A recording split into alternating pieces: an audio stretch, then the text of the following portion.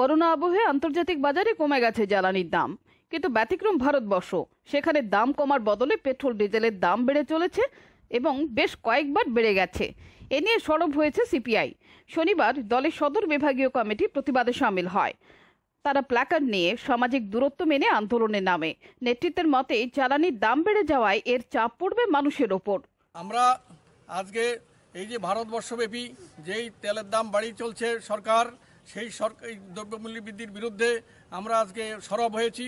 সারা ভারতবর্ষব্যাপী ভারতের communist party আজকে যে দ্রব্য পেট্রোলের যে দাম বাড়িয়েছে, তার বিরুদ্ধে আমরা আজকে সংস্কার হচ্ছি।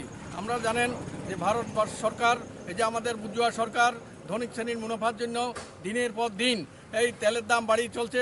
আমরা একদিকে দেখছি ভারতে করোনার আক্রান্তরা এবং অন্যদিকে ভারতের অর্থনীতি যেভাবে সাধারণ গরিব মানুষ দিন দিন কষ্টের মধ্যে পড়ছে, এই তেলের দাম বাড়িয়ে আরও সাধারণ গরিব মানুষের আরও কষ্টের মধ্যে দিয়ে যাবে। কেননা এই তেলের দাম বাড়ানোর ফলে প্রত্যেকটি জিনিসের নিত্যপণ্য তুলের দাম বেড়ে যাবে।